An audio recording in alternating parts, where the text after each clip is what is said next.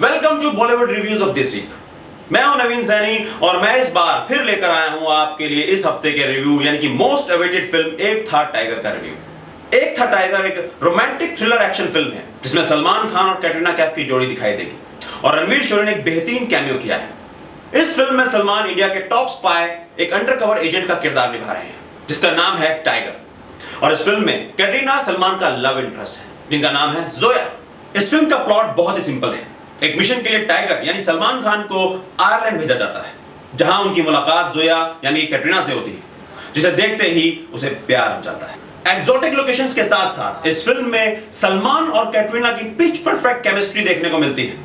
और action sequences के मामले में डायरेक्टर कबीर खान ने हॉलीवुड की फिल्म्स का मुकाबला करने की पूरी कोशिश की है। अब बात करते हैं फ़िल्म के म्यूज़िक की। फ़िल्म के गानों ने पहले से ही धूम मचा रखी है खास तौर पर माशाल्लाह और लापता ने। सलमान खान ने एक बार फिर साबित कर दिया कि फ़िल्म उसकी स्टोरी या स्क्रीन प्ले की वजह से नहीं, उसकी मार्केटिंग की वजह से भी चलती है।